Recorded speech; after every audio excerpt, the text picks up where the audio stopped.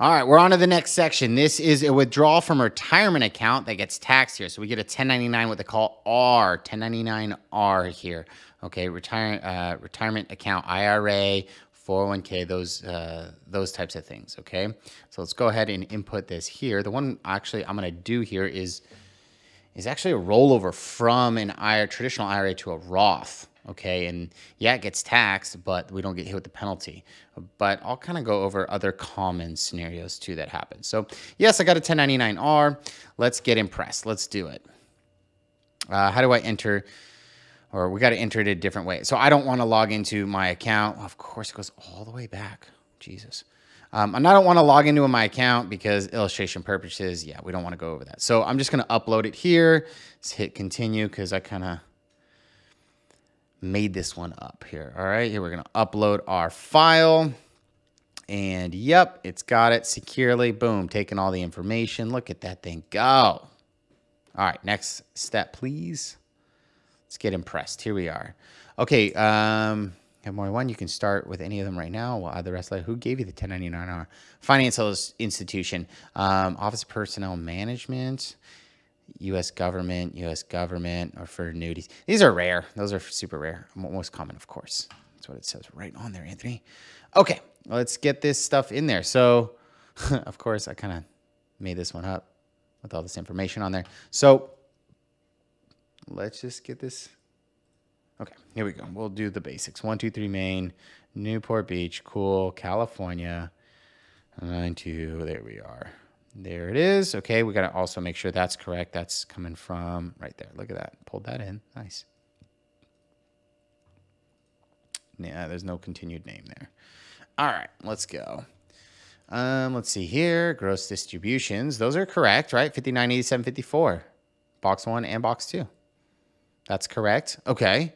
It's not a total distribution, right? We didn't have that box checked. Taxable amount is not determined. Okay, we check the right box there. No capital gains, no federal income tax withheld.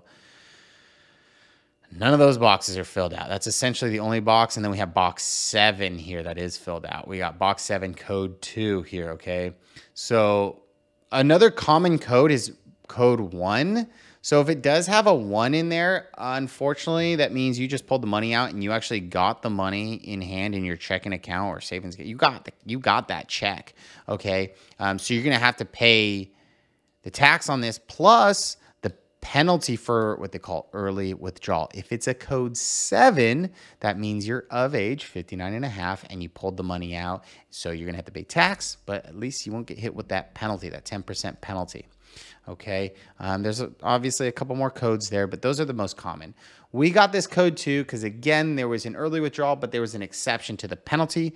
The exception to the penalty is this rollover to the Roth. Okay, that's what we did here. All right, so none of this applied. Cool, cool, cool, cool. I don't know why it's giving me these things here, but nonetheless, here we go. None of this applied here. All right, continue. Great news. You don't any extra taxes.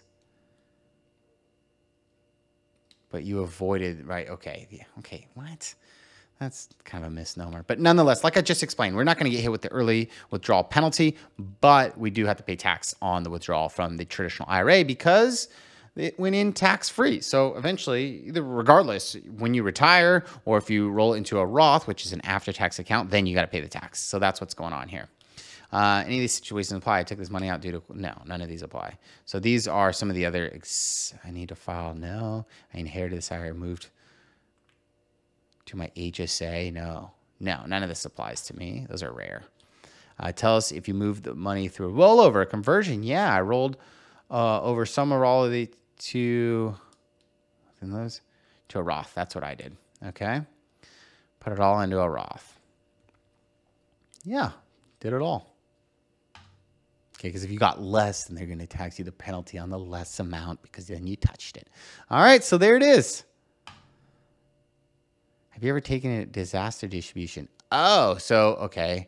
In 20 before 2021. No. So the disaster distribution, I would say that's another one of those COVID specials that happened for 2020 where you could pull out of a retirement account and you can if it was COVID disaster related, then you could avoid the 10% penalty and you can have that taxed over three years instead of in just the year that you pulled it out. So that's what this is asking. If you did do that in 2020, then you'll have to have some of it taxed in 21 and in 22. So that's what this is going on here. But I'm going to say no for illustration, right? Repayments. That's what it is. All right, here we go. Repayments, actually, you can repay that and not get taxed on. That would be another situation as well. Any non deductible contributions to your IRA? I'm going to say no.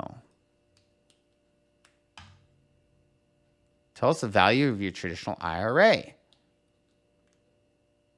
at the end of the year. So I could say $5,000. Outstanding rollovers, zero, zero. Deal. Let's do this. All right, there we go. There's income right there.